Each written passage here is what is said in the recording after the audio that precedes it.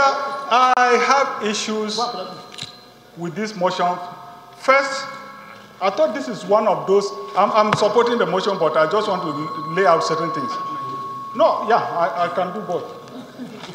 One, the, the states that have been declared oil states are contained in the Niger Delta Development Commission Establishment Act, and the states are, are listed in Section 4 of that law.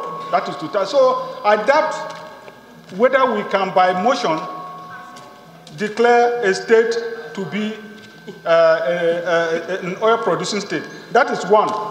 Two, like Honorable Hembe said, going by the motion itself, Honorable Hembe pointed out, going by the motion itself, it is clear that the mover of the motion is conceding that enough work has not even been done to get uh, those states to be declared as oil producing states.